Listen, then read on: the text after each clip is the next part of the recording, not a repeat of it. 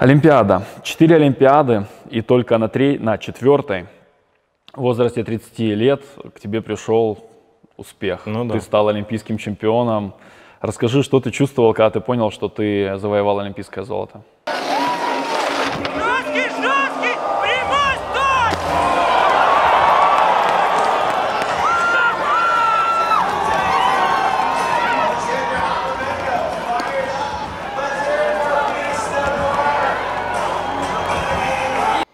Ну, вообще, да, вот, ну, четыре Олимпиады мне пришлось пройти, чтобы добиться того, чего я хотел изначально, когда уже понял для себя, что буду заниматься профессионально.